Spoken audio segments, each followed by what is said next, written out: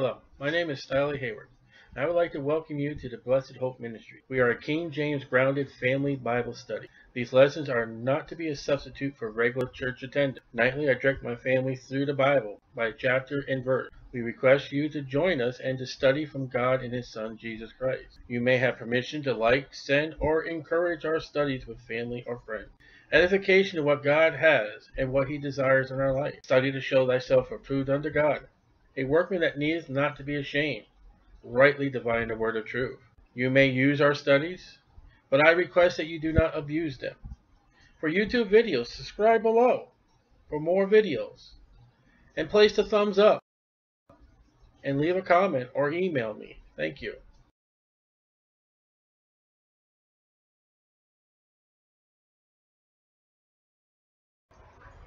Leviticus 26.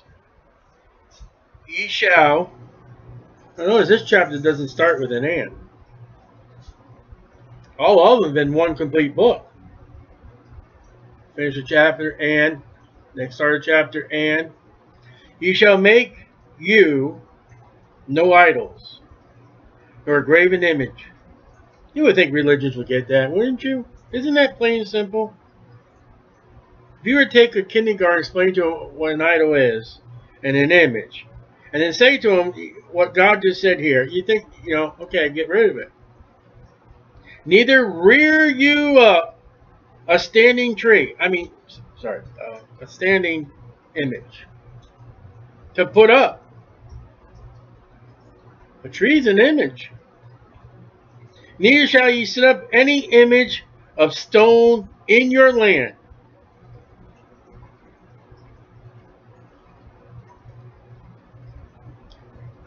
How about statues that are stone and marble? And as a Christian nation that we proclaim to be, and we got stone monuments, and you go up north, you got four faces of presidents who are dead of stone. And then you wonder why God's not blessing this nation. We read last night, uh, chapter 25, verse 10, the markings of the Liberty Bell bell. And yet we go one more chapter into it and we've got idols and imagery. They're all over. And people go and take pictures of them, buy souvenirs. And God says no. And bow down unto it. For I am the Lord your God. Worshipping it. And worship the bowing down doesn't mean you just have to get down on your knees say, old stone statue, old stone statue. Is you plan your whole year, you plan your whole budget, you plan everything just to go to see that one thing. And then you skip church on Sunday morning, you skip midweek service. I'm always amazed how when a Christian puts forth their vacation, it's always, they're never there on Sunday morning. They're never there on Sunday night. That begins their vacation. That's a little thing of me. But if ye walk in my statutes and keep my commandments and do them, this is to the Jews, this is the law. Then I, God, will give you rain in due season. That didn't come from the meteorologist? That doesn't come from... You mean God gives rain? And yet we keep on giving the credit to Mother Nature. And again, you wonder why God is angry with this nation. We got stone monuments and we don't give God the credit for the for the weather. The weather forecaster said it was, it was going to be a nice day today. How about God's is giving us a nice day? And the land shall yield her increase. You mean it's not the grocery store? It is God that puts the food in your pantries or the restaurant. And the one day that this nation, as a Christian nation, gives thanks to God has completely blown out the window of football and going out and spending money that you don't have. Thanksgiving is the time to thank God for what we got, and Christmas is to complain and gripe and, and to worship the things we ain't got. And the trees of the field shall yield their fruit. So on the basis of the law for a Jew in the land, if you obey everything I tell you to do, I will give you the rain and I'll give you fruit. And we read that last night's chapter. God says at the seven years, the land is to rest. But in the six years, I will give you the fruit of three years. And that's all conditional upon them obeying the law. Your threshing, this is all about your harvest, shall reach unto the vintage. And the vintage shall reach unto the sowing time, complete massive fruit. You shall eat your bread to the full, and dwell in your land safely. So your telmes are going to be satisfied. I will give peace in the land. You shall lie down, and none shall make you afraid. I will rid evil beasts out of the land, neither shall the sword go through your land. There'll be no war. Peace. It's not going on today. Man, they're walking around with guns strapped to them. There is no peace. The United Nations keeps trying to shut them out. The United Nations only recognize uh, Jerusalem. They'll have missiles flying over them from, from the, the enemies. There are bombs going off. You shall chase your enemies. That's not today. The enemies are dwelling in the land with them. And they shall fall before you by sword. And five of you shall chase a hundred. Imagine five men chasing a hundred men and a hundred of you shall put ten thousand to flight. The small minority that you are, you're going to conquer armies, is what God said. If you keep the law, if you obey what I tell you to do.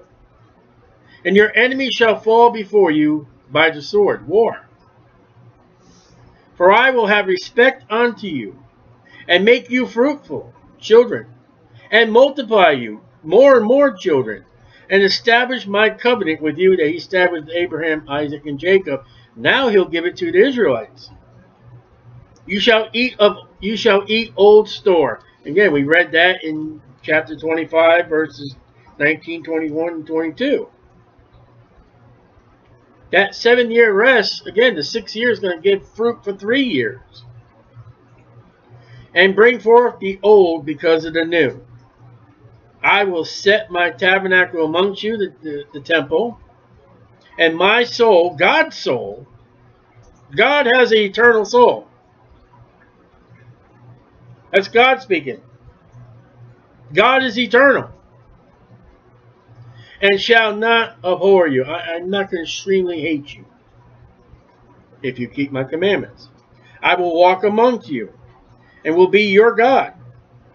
Ye shall be my people, Israelites, not Americans. I am the Lord your God, which brought you forth out of the land of Egypt. So we who we know who we're talking about here, that ye should not be their bondmen. I have broken the bands of your yoke and made you go upright. So here's if you obey. 13 verses. If you obey. If you do right. No graven images. You follow the law. 14 to 46, man, if you don't do it. Now, America is not under the law, but we're going to see some things here in America. That, because, listen, God has done this to the Jew in Babylon. Jeremiah, Ezekiel. God has done this since the death, burial, and resurrection of Jesus Christ of the Jews. And to today. He's not finished with them. And if the Jews are doing these sins and God has chastised his children,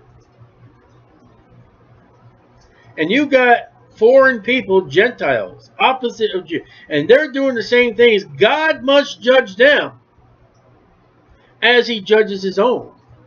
Now, judgment begins at, at, at, at God's people, the Bible says. But it's going to reach out to those who are not God's people. And if God will not judge nations as wicked as Judah was, and then he's going to apologize to Judah. And God's not going to apologize for judgment upon sin. So when we see, we're going to see Israel and Judah going to Babylon. We're going to see them rejecting their Messiah and God putting them on the shelf. And we're going to see other nations that had rejected God and their judgment placed by God. But, now, let's go to Exodus 19.8 real quick. And let's see this demand that the Jews, Exodus 19.8. And remember, the law didn't come to Exodus 20. But 19.8. And if you vow a vow unto God, you better not slack to bake it, to, to uh, do it. And all the people answered together and said, All that the Lord has spoken, we will do. Have you noticed the do's that we did here? Do is a good word to mark in your Bible. Now, Exodus 19, Exodus 20, and through Leviticus and all that.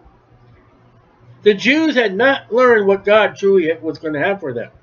But beforehand, we will do everything I'll say.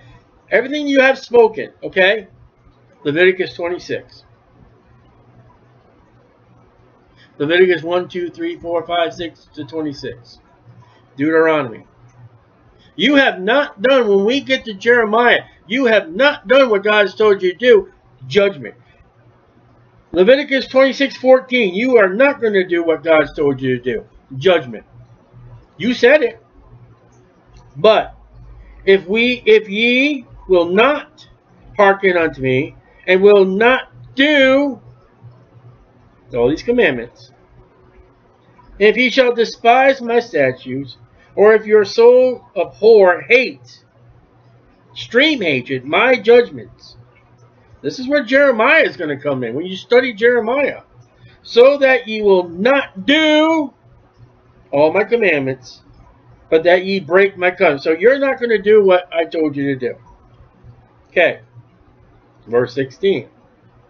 I, God, also will do this unto you. Here we go. I will even appoint over you terror. We are now in the land of terrorists. Why? Because we're not doing what God told you to do. What's God told us to do? Believe on the Lord Jesus Christ and thou shalt be saved. Well, we got all kinds of religions. We got all kinds of science. We got all kinds of education. We don't have Jesus Christ. Okay, fine. Terror.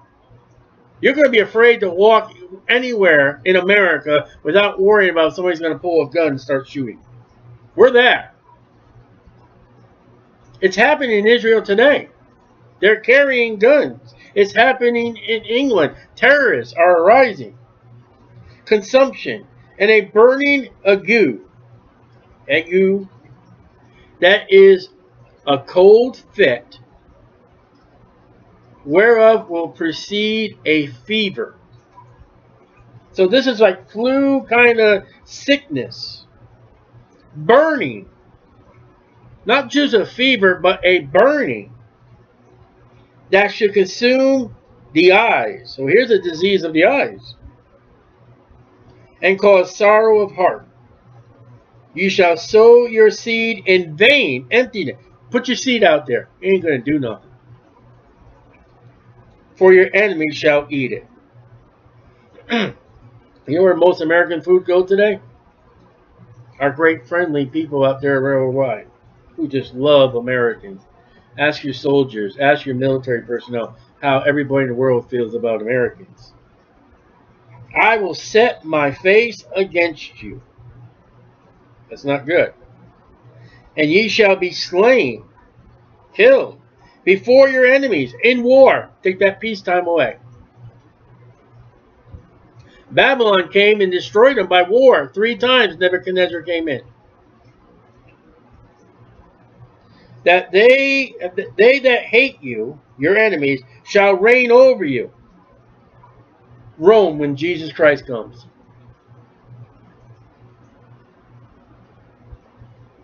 We had a president that everybody hated for, for eight years. We got another president now that's hated by other people. There it is. And as far as my view, I don't care about any of the presidents. I pray for them. I send them a letter of witness. I don't care who's in the office. I pray. I worry about what the Bible says for me to do. Shall reign over you. Ye shall flee when none pursueth you. Now imagine. Here's a guy. He's running down the sidewalk. He's hey, what are you fleeing from? Nothing. Hurt, I gotta go. Isn't that silly?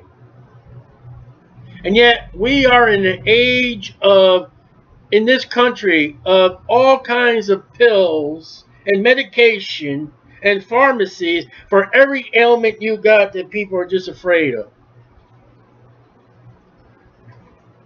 America's living in terror, living in fear and anxiety. And if you, okay, 18. You didn't get right after 17. 18.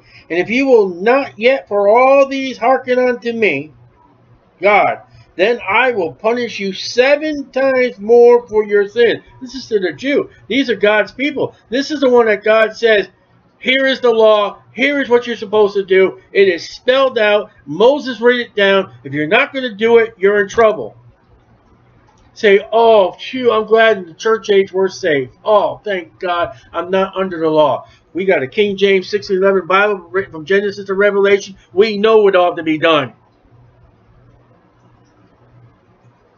We have something that Jeremiah didn't have. We have something that Jesus didn't have. We have something that Paul did not have. The entire complete Bible written to us.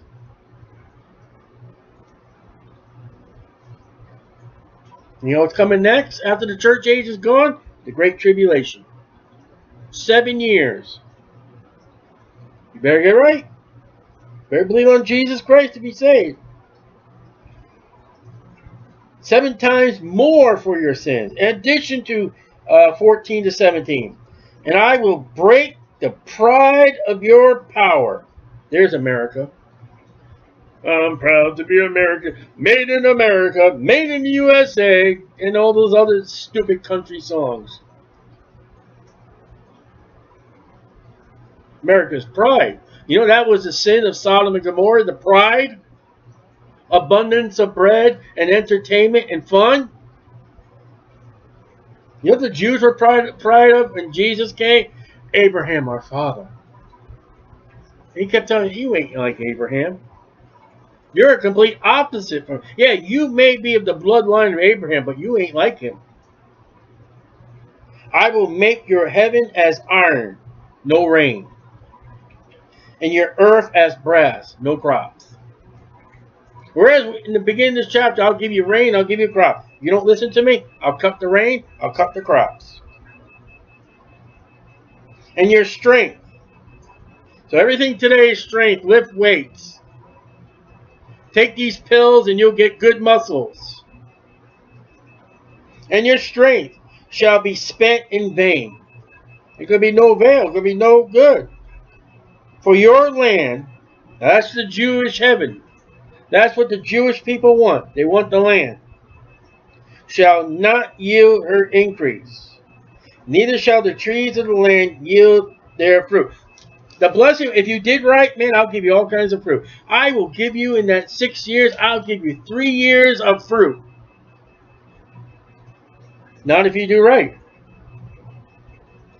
Economists say, and I'm very good on this, from what I've read and, and heard and studied. The first depression in America was there was no money, but there was food.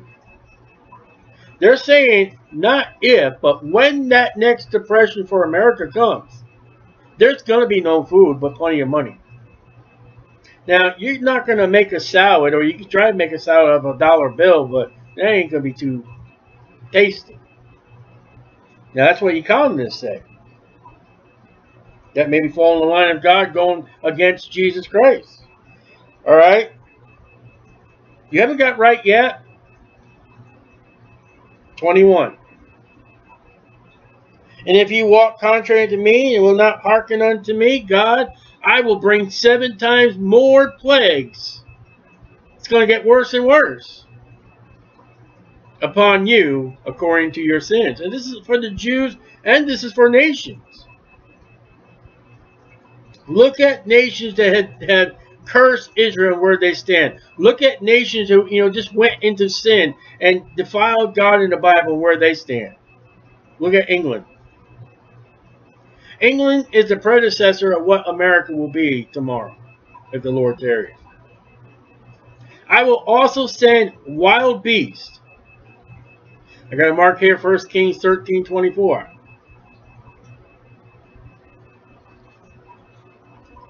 I watched the People's Court and Judge Judy as far as law and learning law for, for small claims courts. As far as law information that program, you know how many cases there are for, for animals, dogs?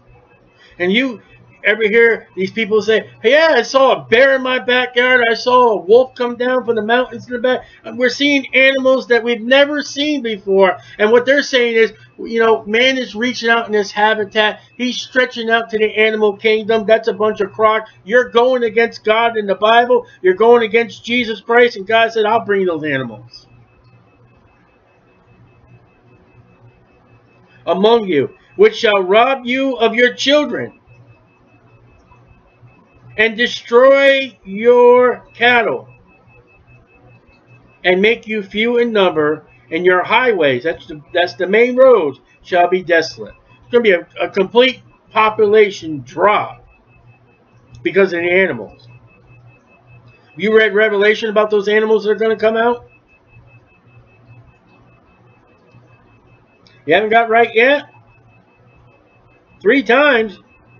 You figure by now you get right. And if you will not be reformed, corrected, or amended by me, by these things, chapter uh, verses 14 to 22, but will walk contrary to me, if you continue to go in rebellion, then will I walk contrary to you. I'm going to go against you and will punish you yet seven times for your sin.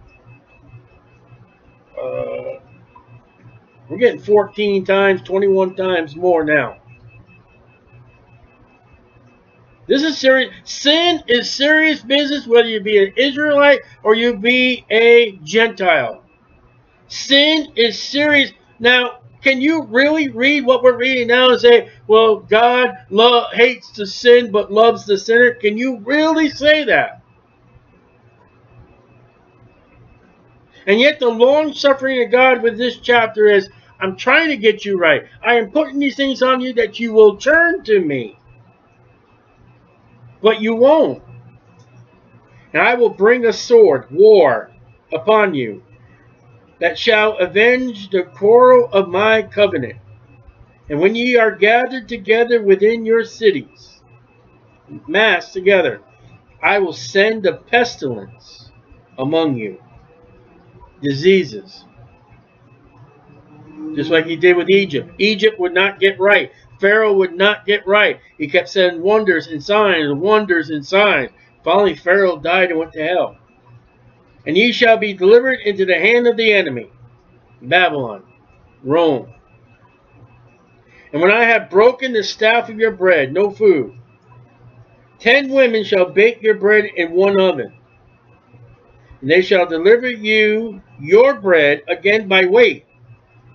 You shall eat and not be satisfied. You can only have a certain portion of bread, amount of time. You can only have this amount. You got 10 women that's in your kitchen on one oven making bread, but you can only have this amount. Something happens to the bread when it's being baked and when it's being prepared. You can't have all that bread being prepared. Moldy. Not good. Haven't got right yet? If you will not for all this hearken unto me, God, but walk contrary unto me, I will walk contrary unto you. Also in fury, God is getting angrier. God's long suffering. And I, even I, will chasten you seven times. I lost count now. For your sins. God wants them to get right. God wants you to get right. God will send things in your life for you to get right. He wanted Pharaoh to get right and do right. But the hard, the pride, man will not listen to God. Then I will walk contrary unto you, also in fury, I, even I, will chasten you seven times for your sin. And ye shall eat the flesh of your sons. And they will in Jeremiah's time. 2 Kings 6, 28 and 29. Lamentations. And the flesh of your daughters shall ye eat. You really think, you know, you really think it has to get that hard? You really think God means business with sin when you take your child and you kill them and you boil them? There was a king of Judah. They came to him and said, "You know, we ate her door. He ate, we ate her son yesterday. I mean, we ate my son today. Now I said, where's your son? And she went and hid him. And I'm hungry. King, will you have her bring her child so we can eat him?" I will destroy your high places. This is all prophecy. They're not even in the land yet. And God said, I'll destroy your high place. And in the land, there are high places. There are hard places all in America. Especially in Washington, D.C. And cut down your images. There's images all across from, ocean to ocean. And cast your carcasses upon the carcasses of your idols and my soul shall abhor you. And this will happen in Jeremiah's time. Ezekiel will write after this has happened. Jeremiah writes as Babylon is attacking, and Ezekiel will write after Babylon has attacked. And I will make your cities waste. Jeremiah will describe that in the book of Lamentations. And bring your sanctuaries into desolation. Notice sanctuaries plural. Churches and temples and tabernacles and whatever kind of religious buildings and religious places are all on America will be desolate. I will not smell of your savor, of your sweet odor. They're coming to the temple. They're bringing their incense. They're bringing their animals. They're doing the sacrifice. And God says it stinks. To find that, read the book of Malachi. See, we're reading something that God has warned the Jews, and the Jews do not take heed. And when we preach the gospel to people, we tell them that there's a hell. We tell them that death is coming, and they will not take heed. They will end up in those flames for all eternity. God is right. God is always right. So have you got right yet?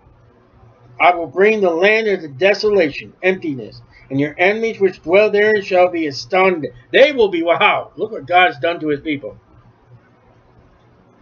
I will scatter you among the heathen. They're all over the world today. And there are some countries that don't even want them. Get out of here. Uh, I think Luke, even the Gospels, it talks about Paul meets Priscilla and Aquila. They left their country because their country said, get out of here. I will scatter you among the heathen and will draw out a sword after you. War. Adolf Hitler. The Roman Catholic Church. Your land shall be desolate, and your cities waste. Then shall the land enjoy her Sabbath. Remember I told you about that last night? That Sabbath? Seven day rest. That one day rest. Enjoy it. The seventh year rest. Enjoy that year of rest. The 49th and 50th year of Jubile enjoy it. They did not enjoy it. They did not hearken to God. And God says that land needs rest. And if you will not give you that rest to that land, I will take you out of that land and I will give that land rest by force. What do you think America's doing with her land? Then shall the land enjoy her Sabbath. It will enjoy it if you're not there. As long as it lies desolate, and you will be in your enemy's Babylon land. Germany, Poland, America. Even then shall the land rest and enjoy her Sabbaths. As long as it lies desolate it shall rest. You're not supposed to. All you do is and just obey that time of rest. Things would have been okay. Because it did not rest in your Sabbath. It did not rest in your Sabbath. They weren't obeying the Sabbath when you dwell upon it. It's either Ezra or Nehemiah. They they're, they're showing up on the Sabbath to buy things. He says, listen, I'm gonna I'm gonna bash you guys. I'm gonna pull your hair out. I'm shutting those doors. You're not to be here. You come back next Sabbath. I'm, you're gonna have to deal with me. Why was I, I forget? I think it's Nehemiah. Let me say Nehemiah. Why was Nehemiah so mad that people were showing up on the Sabbath? Because he knew this prophecy, and he knew that was one of the reasons why God said, "You're gone." And upon them that are left alive of you, all right, we survive. Oh, I will send faintness into their hearts. Oh, anxiety, weakness in the lands of their enemies, and the sound of a shaken leaf shall chase them. A leaf is going to shake. Ah! What was that? And they shall flee, as fleeing from a sword and they shall fall when none pursue it. Can you imagine what Jews felt like during World War II when Adolf Hitler was still alive? Can you even picture what this verse says? Let's say something, I think the Nazis are coming. What do you think those Jews would have done if they even thought the SS troops were coming? Wouldn't that bring a panic and a scare and a run, even though if it was a rumor? And they shall fall one upon another the train cars of bringing them to the to the concentration camps. And in the, the, the crematoriums, they say they were all piled on top of each other. And they would have the babies in the mother's arms just to give them enough air to survive a little longer. You better believe the Bible's right and that history proves that God is right. And they don't want God to be right, so they're changing history. We are reading about Babylon. We are reading about Adolf Hitler. We're going to read about the Antichrist and those Jews. That Antichrist is going to hunt those Jews. He's going to cut off their heads and he's going to drink of their blood.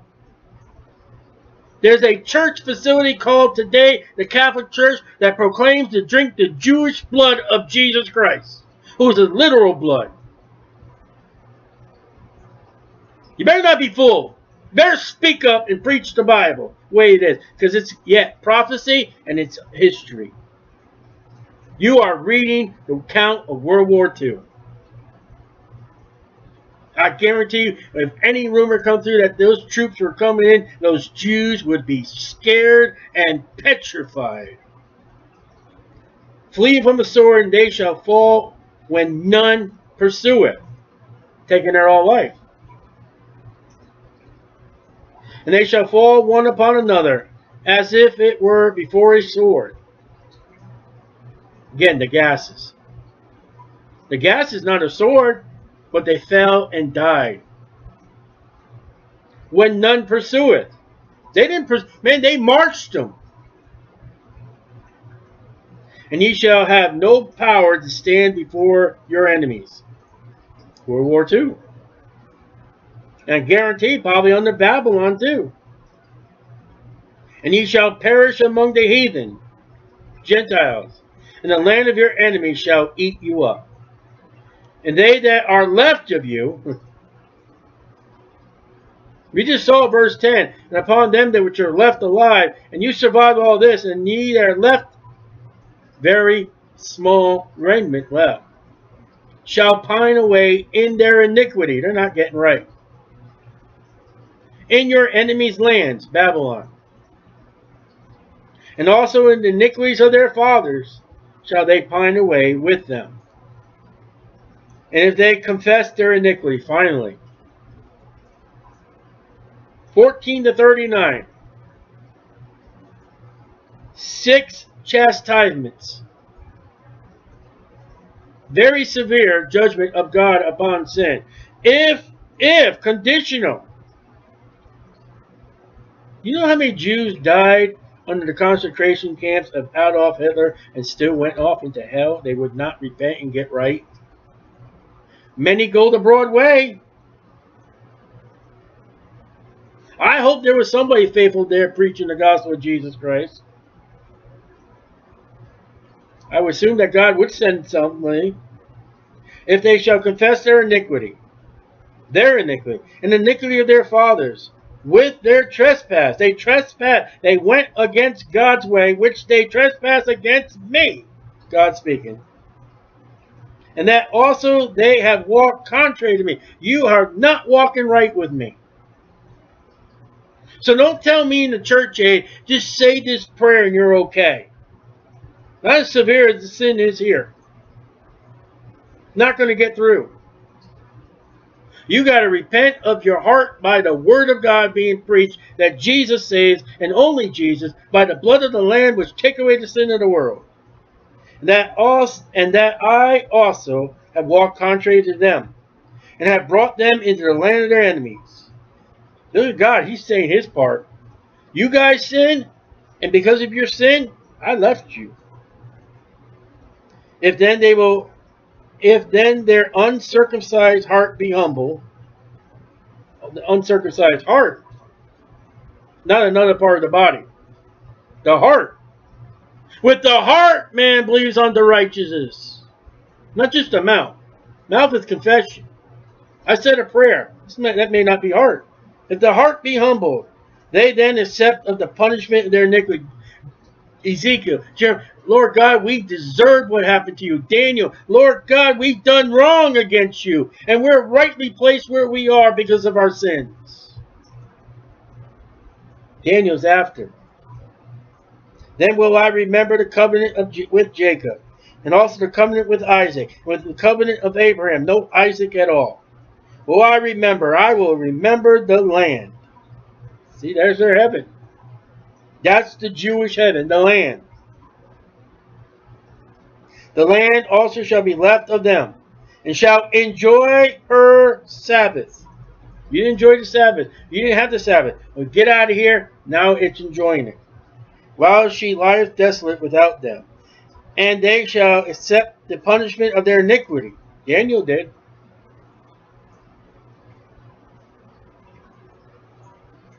Because, even because they despised my judgment, and because their soul abhorred my statutes. And yet for all that, when they be in the land their enemies, Daniel, I will not cast them away, Ezekiel. Neither will I abhor, abhor them, to destroy them utterly, to break my covenant with them. I am the Lord their God. So does that sound like God's totally finished with the Jew? Absolutely not. Anybody who says that is cursing those people. Get away from them. Get out of their church. Have no being with them at all. What God has been doing to them from chapter 14, verses 39, 41, he wants them to get right. And Jesus told us many will go the broad way. But he's looking for that very few of the remnant to get right. And when Jesus comes back at the second advent, he will find a remnant of the remnant of those Jews. And for those Jews are we coming back to rescue. Joel chapter 2.